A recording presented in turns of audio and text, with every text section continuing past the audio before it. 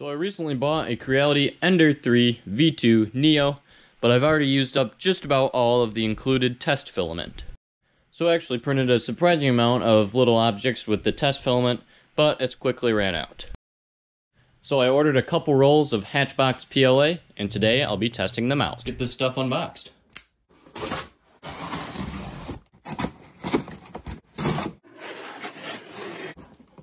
So these are about 22 bucks a roll. I got them 10% off on Black Friday, so I was happy about a little bit of savings there. So this is some of the higher end filament, but I wanted to make sure I do the good stuff because it just makes things a lot easier. I got one gray and one black.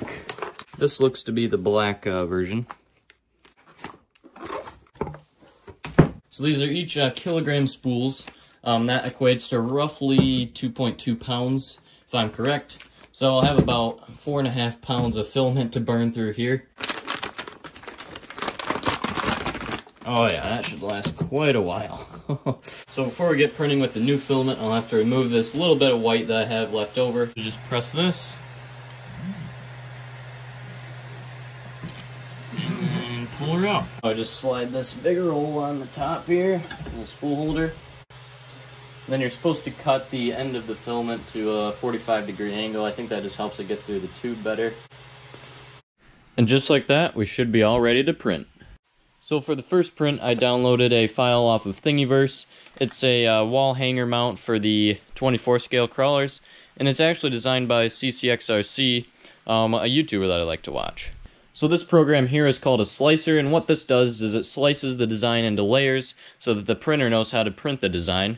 Um, I'm doing this at 30% infill, that's just what he recommended, and I'll be printing it in black. So just download the file onto this SD card that came with the printer, We'll then insert it into the side here, the little slot. Now we'll go into the prepare menu and then move down to preheat PLA. Once everything's heated up, it should be ready to print.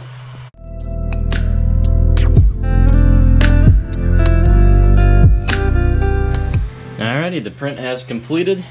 Let's get this thing off of here now. Nice thing about this Neo printer is that it has a magnetic plate so you can just bend it and it's usually enough to just pop them loose, just like that. So now I'm going to print pretty much the same thing, but slightly different for the SCX24. It just has a little bit different grooves.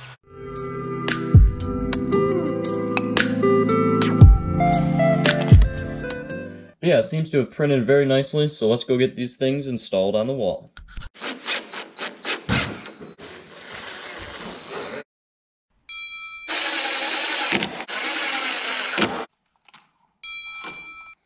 Alright, there we have it. Those mounts are now on. Um, both hanging up there pretty nicely now.